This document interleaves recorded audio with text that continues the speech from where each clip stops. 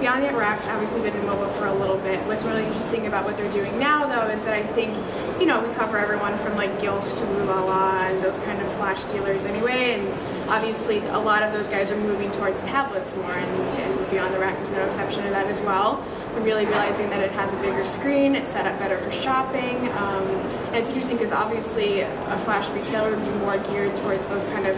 quick, spontaneous um, daily thing, are usually most likely taking place on a smartphone when a person's